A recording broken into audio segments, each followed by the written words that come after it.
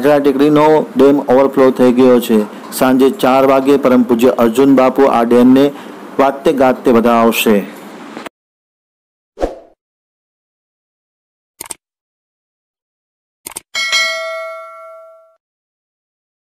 હવે જોઈએ સીધી અજય રાજા ટેકરીના પ્રતિનિધિ ક્રિસ્ટોફ એવા સિદ્ધિપીઠ રાજા ટેકરી ડેમ સતત વરસાદના કારણે ઓવરફ્લો થઈ ગયો છે તેને વધારવા માટેનું આયોજન કરવામાં આવ્યું છે સાંજે ચાર કલાકે રાજા ટેકરીના મહાન પરમ પૂજ્ય અર્જુન બાપુ દ્વારા આ ડેમને વધારવામાં આવશે તો લોકોને ખાસ આ પ્રસંગે શુભ અવસર પ્રસંગે ઉપસ્થિત રહેવા માટેનું એક આમંત્રણ પાઠવવામાં આવ્યું છે તળિયા રાજડા ગોધરા સહિતના લોકો આ ડેમને વધારવા વખતે ઉપસ્થિત રહે તો આગ્રહ પણ કરવામાં આવ્યો છે અને છેલ્લા ત્રણ દિવસથી સતત પડેલ ભારે વરસાદના કારણે આ ડેમ ઓવરફ્લો થઈ ગયો છે સૌથી અગત્યની વાત એ છે કે પ્રથમ તંત્ર દ્વારા કોઈ પણ તબક્કામાં જ આ ડેમ ઓવરફ્લો થઈ જતા ખાસ કરીને આજુબાજુના વિસ્તારના લોકોને પણ ફાયદો થશે ખેડૂત પુત્રોને પણ ફાયદો થશે અને બાપુએ સૌની શુભકામના પાઠવી છે ગઈકાલે પાંચ ઇંચથી વધુ વરસાદ ખાબક્યો હતો ખાસ કરીને કનકપુરના આજુબાજુના વિસ્તારમાં પણ ભારે વરસાદ ત્રાટક્યો હોવાના સમાચાર મળી રહ્યા છે.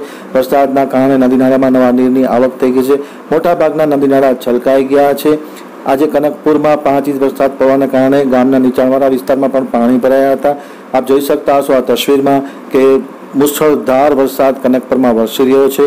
આજુબાજુના ગ્રામ્ય વિસ્તારમાં પણ ભારે વરસાદ વરસી રહ્યો હોવાના સમાચાર અમારા પ્રતિનિધિ આપી રહ્યા છે.